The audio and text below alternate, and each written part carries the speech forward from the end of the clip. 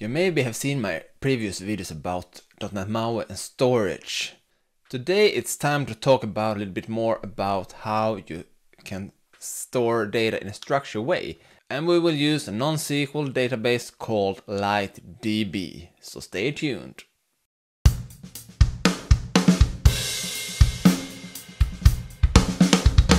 Welcome back to a new video about .NET MAUI, of course.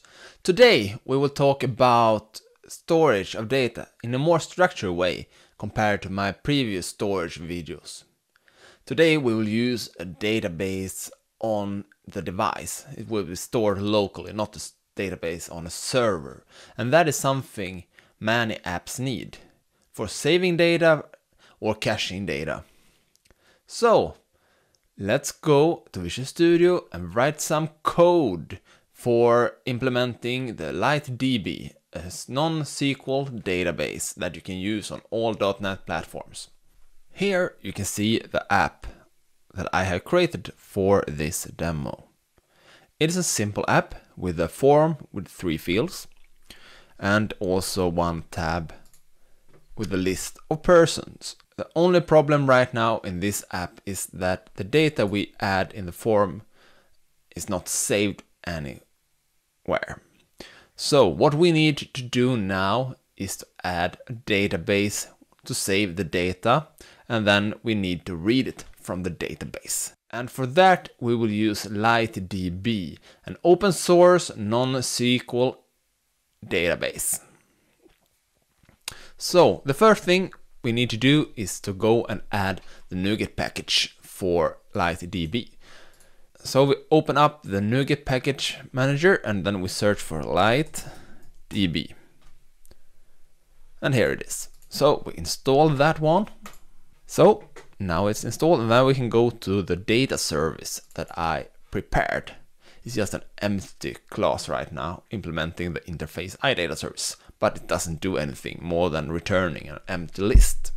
So here we will start to use LiteDB instead. So let's start with the save method.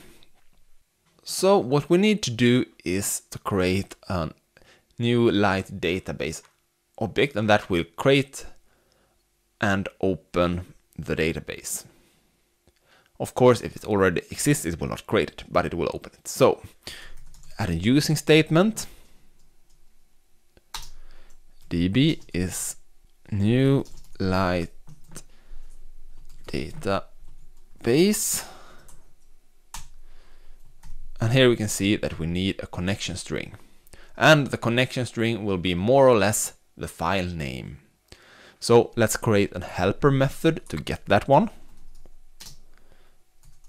So we can reuse it on multiple places in this service. Get file path. And if you have looked at my storage videos, I walk through where to save the data. Uh, so we will use the MAUI Essentials class file system. And here we have uh, property called cache directory and we have one app data directory. So we will use the app data directory here. Uh, our path and then we should use uh, path dot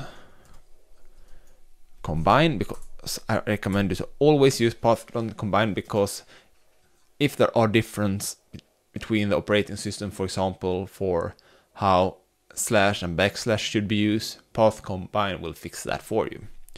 So path and then we concat it with the file name uh, persons.db. Uh, yeah, and return. Okay, so add it there, get file path. We're missing a var there. Okay, so now when we have an open database connection, we can go and get or create a collection. So db dot get collection. and this will create a collection if it does not exist and then we tell what type of data that should be in there and here I already created a model called person that looks like this so we can use that and we should call the collection persons. And we should of course add this to a constant.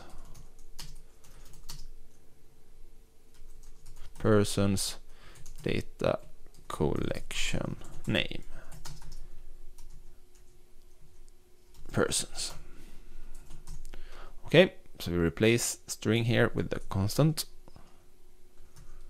person data collection okay we put collection in a variable and now we only need to do collection dot insert person. Okay, just as simple like that. If we want to add an index, we can also do that. So collection dot ensure index, and maybe we'll have one on name like this. Okay, that is everything you need to do to insert a person. And if we want to do an update to a person, we can just use the update method. But let's go and write the get all code right now. So we copy this code and to get all persons we use collection dot query like this. And if we want to, we can also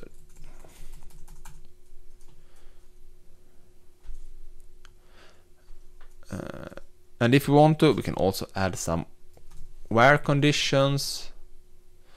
And here we can have LINQ for example. But right now we just want to return all. So we do collection dot query dot to list.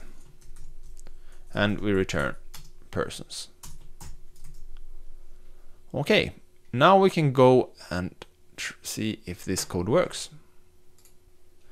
So here the app is, so we enter name Daniel 1337 and I live in Borlänge. And save. You can go to the persons list and here we have Daniel 1337 and Borlänge. Let's add another one like Johan. So let's go to the persons list and here we have two names. So that is how simple it is to get started with uh, LiteDB. But if we want, want this data to be encrypted, we can pretty easy do that too. So we go back to our data service and we should modify the connection string a bit. So let's change the name here to get connection string because that is what we want to do. So we have the path here we can call that full path. And then to do this, we need a password in the connection string. And that password is what that will be used to encrypt the data. So we need to create a password and we need to store the password in a secure way. So we will use secure storage. And if you want to know more about secure storage, I recommend you to take a look at that video. But right now I prepared that, so the only thing we need to do is to implement our iSecure storage service. So now we have that. So our password is await secure storage service uh, get password uh, default value yeah, can be null as the standard. So then we do if password uh, is equal to null then we should create the password. Password is let's say we use a GUID new GUID dot to string. Okay now we just need to save that one. So await secure source service dot save password password. And now we will do like this. Var connection string is equal to file name is equal to full path semicolon and password is equal to password semicolon. Yes. And then we return connection string. Yeah and this need to return a task now. Task of string. Yes. And then we need to add await here. And here. Okay let's see what happens when we run this now. So here the app is again. What you also need to remember before you change from a non-encrypted database to an encrypted is that you cannot load the same file. So you need to remove the old database file or give it a new name. So, but we enter Daniel 37 in. Save. And let's see if we also can show the data. Yes, here it is. So now we have saved persons from the person's form encrypted on the device. And that is much more secure if you have sensitive data. So I recommend you in many cases to use the encryption. And it's really easy to accomplish. so why not? What I also like with LiteDB is that it has separate file storage. So let's show how we can do that. So we add a method here, public async task upload, and let's say we will have a byte array because that is something that you often have when um, uploading files, an image for example, and we will have a file name. So we still need to open or create the database, so we take that row again, but we don't need a collection because we have this db.file storage and here we can upload the data. So we will give it an ID like GUID to string. So, and uh, here we have the file name, file name, and then we have a stream. So let's create a new memory stream from the byte array. Uh, bytes. And when we do upload, we will get back some file info.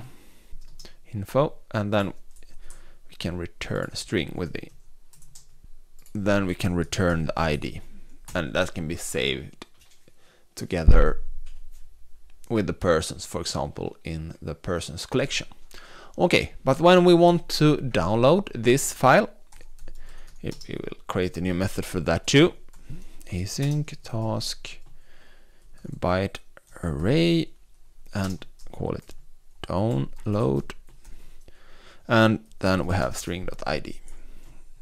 So we copy this code again to open the database, then we do db.filestorage.download and then we pass the ID and we need a stream so we create one here. New mem or restream. Pass it here. Just like that.